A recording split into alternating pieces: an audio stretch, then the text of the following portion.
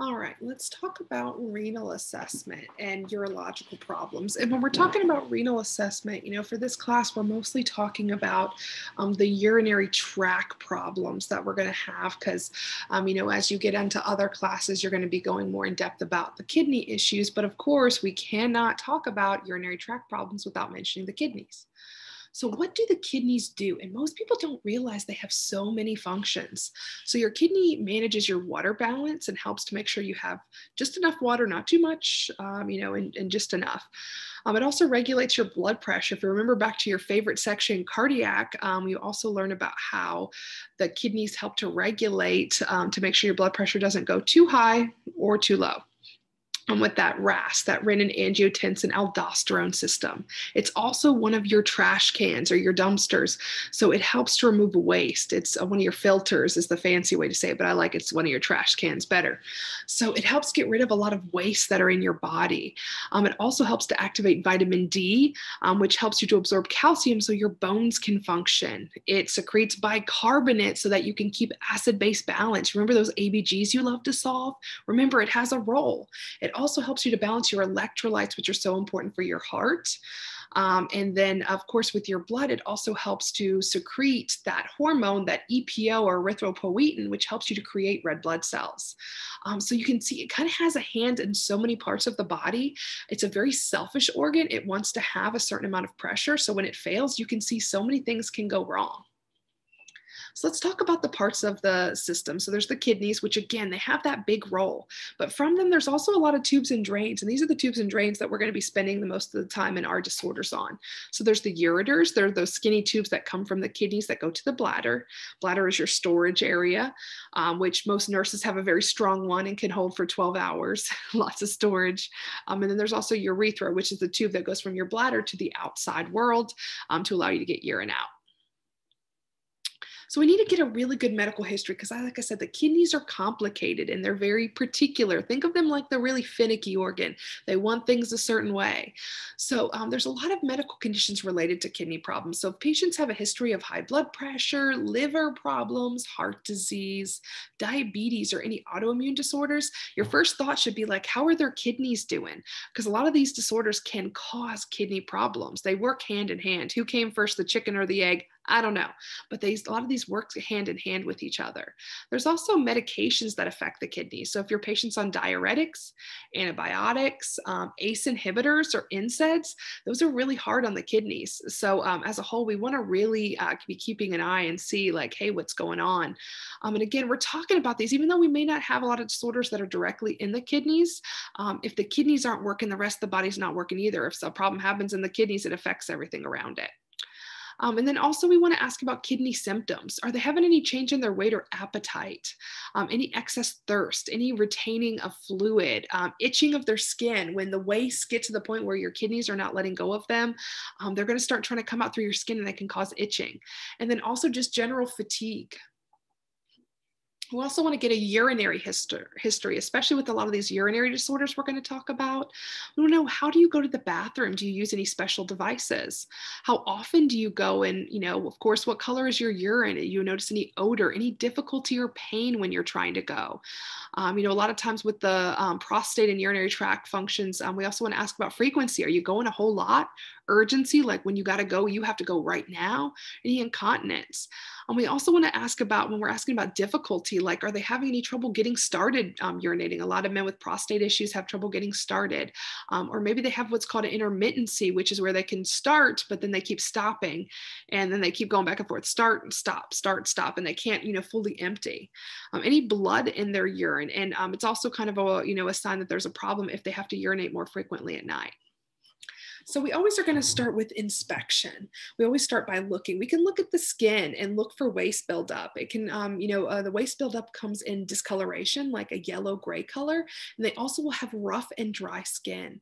We can also look at the peripheral extremities and look for edema and weight gain. Because again, this is your filter, and it not only filters out all the crap in your body, but it also filters out, you know, your water balance. And so if you're not filtering what you're supposed to, you're going to be holding on to more water. Um, you're not able able to pee and get that fluid out that you need. Um, and so uh, we also want to look at the abdomen if there's any masses or distension um, and um, uh, their neurological status. Because if, you know, this is really starting to, um, you know, the wastes are starting to build up, they can have a decreased level of consciousness or they could be confused. We also want to look at their lines, tubes, and drains.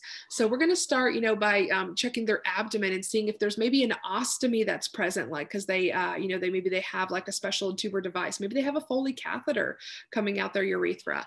Uh, maybe they had abdominal surgery on their kidneys and they have what the, these drains in the middle. They're called Jackson Pratt drains.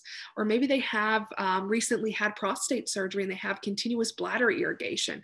But we want to see if anything's hooked up to or helping their um, urinary system um, or directly to their kidneys.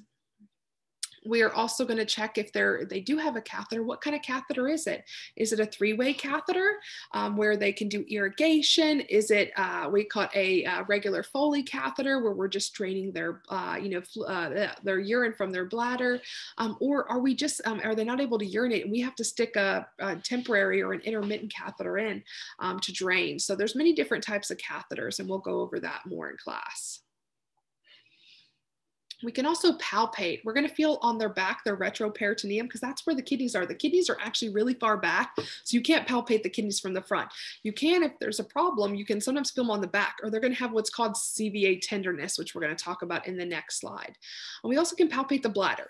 But let me give you a little tip. If you're going to palpate someone's bladder, don't push on it first. Ask, do you need to pee? Because otherwise that's kind of mean, and especially us mamas who maybe had a baby or two, and you're pushing on our bladder. We have a weak bladder, and we're um, fixing to be in incontinent. So, you know, just be nice and ask first, hey, I'm going to palpate your bladder. Do you need to pee? Just ask.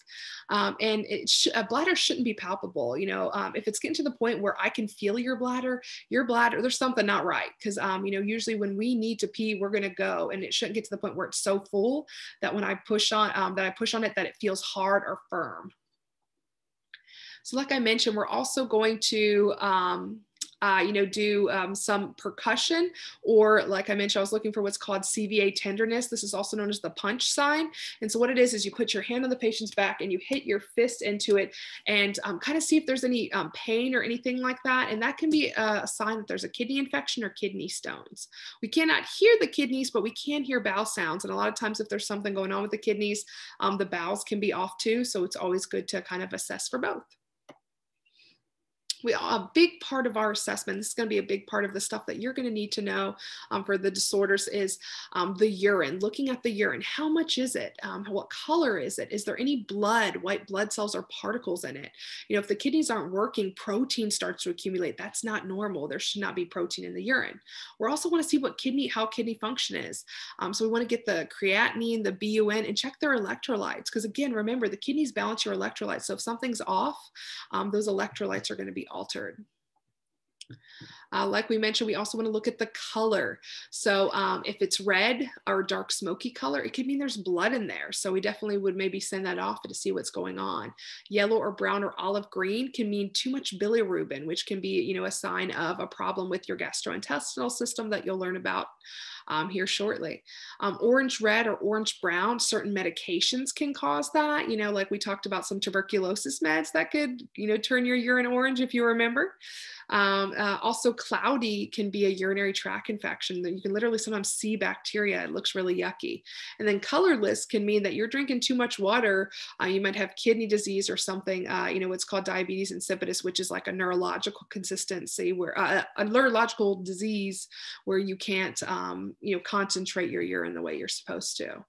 So, you know, you can see a lot of this assessment is going to be asking questions, um, you know, kind of looking for devices and drains that are going to tell us more because a lot of the, um, obviously everything with the um, urinary system is internal um, where, you know, we're really going by, you know, what's coming out. So doing like a really good intake and output and seeing what's going to be coming out of their system um, and then assessing for a lot of those abnormal symptoms to kind of see more what's going on inside. Um, but yeah, this is just to get you started uh, on the urinary system. There's obviously a lot here, um, and you'll learn more about the kidneys and kidney diseases later. But this is just to get you started learning about what are these um, urological disorders or urinary tract disorders that you're going to need to know. So hopefully this helped. I'll catch you at the next one.